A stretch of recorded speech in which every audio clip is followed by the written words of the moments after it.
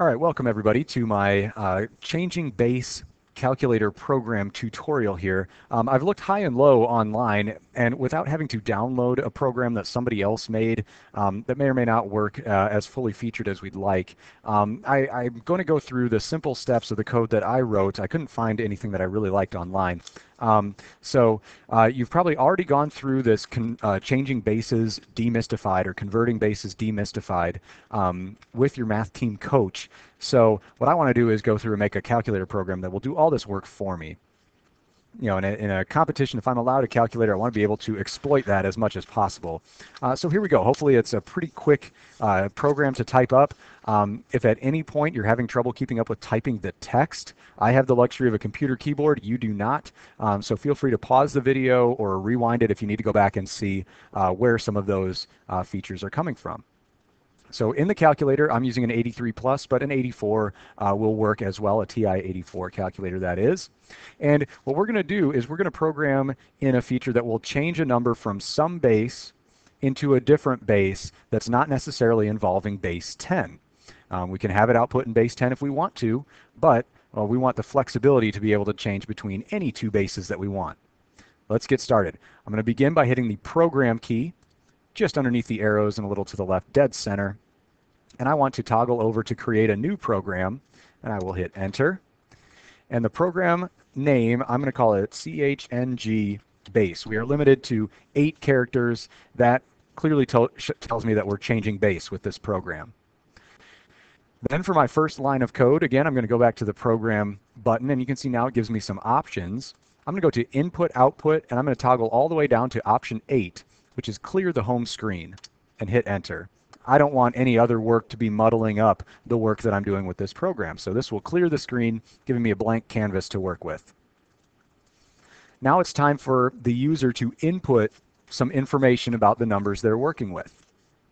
Um, as you see in our um, demystified document here, if I'm changing from one base into another, well, the first thing I would do is I would change the original number into base 10. So I need to know the number of digits that I have in that original number. So program, go to IO for input output. I want to input. I have to keep hitting the alpha key to access all of these letters, or you will, I should say. We're going to start by quotes, input, digits. We need to know how many digits this number has in order to effectively change it into base 10. So I'll put digits in quotation marks. It will output that text. And then whatever the number of digits is, I want that stored as variable D. Enter. Um, the comma is a necessary uh, element. That is a regular key. It's just above the 7, just so you're aware. We're going to do another input. This time it is the number itself. So input, then the text number, comma, we're going to store that as A one more input. Actually, we got two more, I guess.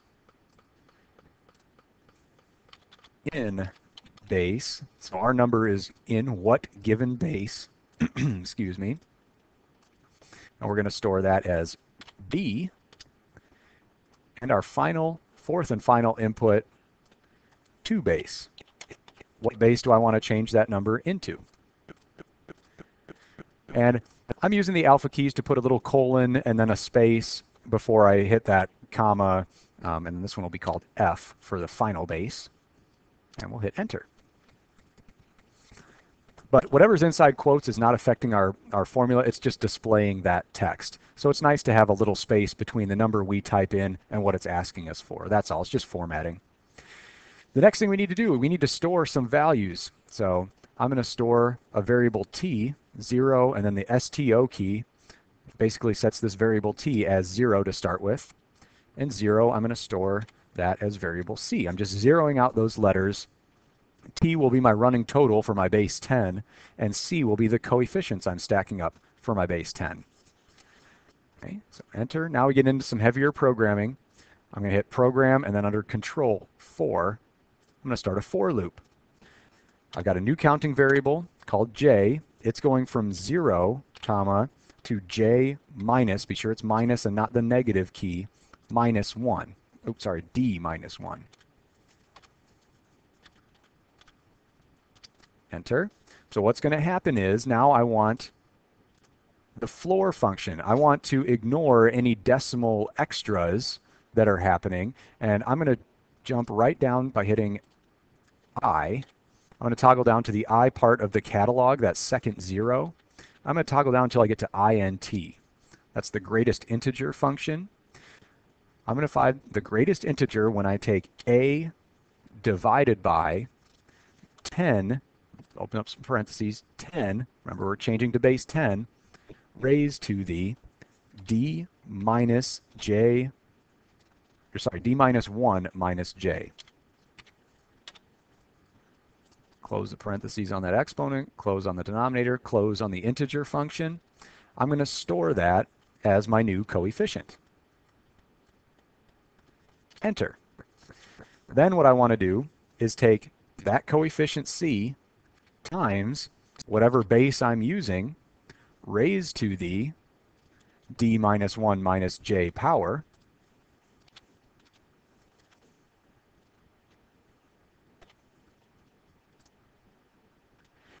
and add that to my running total and store that as my new total. Since the calculator is working in base 10, this is basically saying I have so many of the first, of the highest power of my base. And then I'm going to keep adding those up. It's the same thing as doing uh, this line here in my demystified program. So we'll hit enter. Every time we hit enter, you'll see it opens up a new line of code with a colon. We want to be sure we're seeing that before each line. Then the last thing I need to do is take my number and subtract away that coefficient times 10 to the d minus 1 minus j power.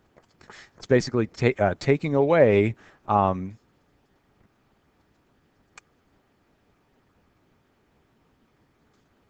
taking away that uh, 10 to whatever power to establish my next number. And I'm going to store that as my new a. Enter. Now we're going to hit program 7 to end that. And now we've got something, this t variable that we've been building up is our number in base 10. All right, next. To hit enter one more time, start a new line of code. Now it's time to change it from base 10 into its new base. So we're going to introduce a new variable, 1, store that as p. Enter. p is just the place value. 0, store that as e. And now it's time to build up our new polynomial. These are just counting counting variables, I shouldn't say polynomial, our new um, number based on its digits. So program for, we have a new counting variable k, comma, going from 0, comma, to 15. And I'm choosing 15 carefully. We could change this if we had numbers that um, were more than 16 digits long. Um, basically, this is the number of digits minus 1 that we allow. Calculator screen allows 16 characters from left to right, so I left it as 16 digits so it would fit in one line across the screen. All right, so for that, we are going to, again, find that integer function. So let's go back to i, scroll down a little bit until we get to int for integer. Now I'm going to take my total t, divide that by f, my final base, raised to the 15 minus k power. Close all our parentheses. I'm going to store that as e. That's basically my new coefficient counter. Okay. Then the next thing I want to do is program input output output number six. I want this to be in the fifth row on my screen comma, I want to display P, that current uh, place value, comma, and then E, whatever that coefficient is. Close the parentheses. Enter. Next, I'm going to take my running total that I had from my base 10 number, subtract away E times my base F, so where are we at here? F raised to the up parentheses, 15 minus k power, close the parentheses, all the way through. Oop, I only needed two parentheses there, didn't I? Yes, I only need two. Let's delete that last one. I'm going to store that as my new t. Enter. The next thing I need to do is move one place over in my number. So I'm going to say p plus 1, store that as the new p-value.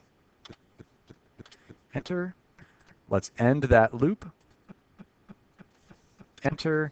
Then I just need one blank display feature, program, input, output, option 3, display, and then I'm just going to input one quotation mark just to display a blank line.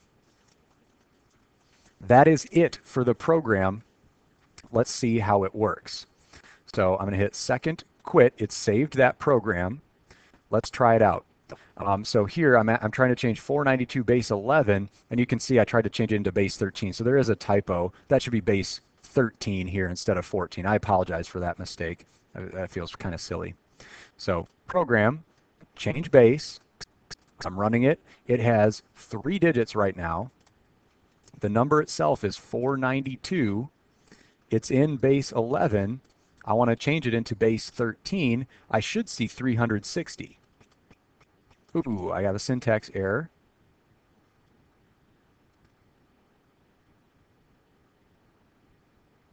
Three.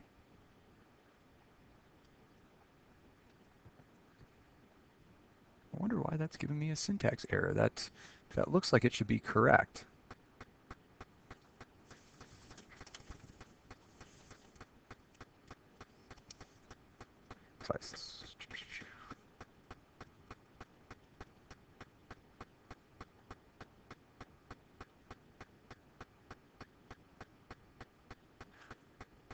I have one extra parenthesis there, right? I should only have three closing ones. So let's delete that parenthesis out. And then we'll quit out. It'll save that change. Let's clear that screen. Let's try it one more time. So let's execute that. It's a three digit number. The number is 492. It's in base 11. Oops. Ugh. Clear that out. Program, change base. Let's run that. I have a three digit number. It is 492. It is in base 11. I want it to be base 13. And you can see it has all these zeros for placeholders where there could be digits, but there aren't in this number. I get 360 for my output. So this program changed us from base 11 to a base 13 number very, very quickly. Okay, I apologize if this was kind of confusing or hard to follow, but in the end, we're going through the steps mentioned here in this example in my demystifying document. Um, if we can understand how to make this, pro, uh, this programming thing work, it's a very easy language once you get some of the um, features down. But um, I, I, really hope you've taken something away from this and that it helps you in your math club competitions. Um, uh, if you have any questions or your program's not working, feel free to stop by my room. I'd be happy to troubleshoot with you. Um, but it's a pretty nice little program. It works best with bases that are 10 or less. So this 11 to 13 was a special case that allowed us to work um, work nicely, but it also works for other cases as well, um, as long as the bases are 10 or less. All right. Thanks again for uh, taking the time to write this program. I hope you found it a useful experience and that uh, you find this beneficial in your competitions.